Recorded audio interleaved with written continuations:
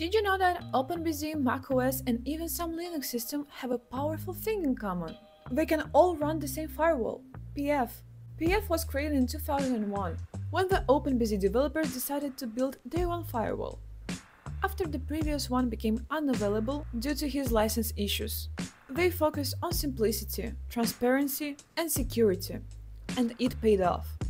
PF turned out so reliable that it actually spread beyond BSD into FreeBSD, macOS, and even some routers. Why?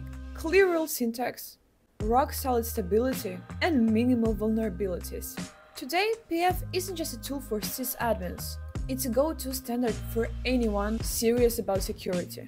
By the way, speaking of protection, only our hosting gives every user A plus security headers by default you are literally unhackable and you'll never have to worry about security ever again.